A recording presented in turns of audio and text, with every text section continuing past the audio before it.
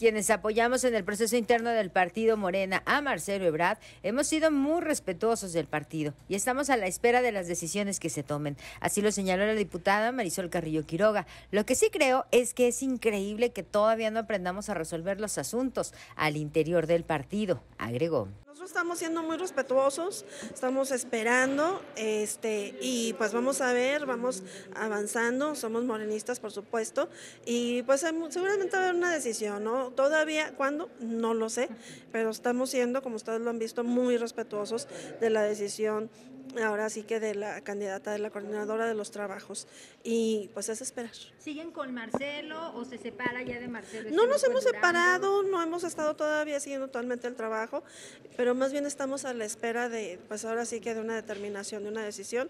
Y sobre todo hemos estado muy, muy respetuosos, tan respetuosos que yo comenté hace poco, es increíble que todavía no, no, aprendamos en Morena a resolver los asuntos en el interior. ¿Sí? Por ejemplo, Marina, que bueno, era la reina del mundo mundial y ahora es lo peor. No, no, o sea, a ver, finalmente es morenista, finalmente eh, tiene un derecho, pero yo creo que desde decir que no, eso sí es, eso queda en el interno. Y la unidad no va a ser tirándole a todos los demás. ¿Por qué? Porque cada quien va a tener su bando. No podremos coincidir.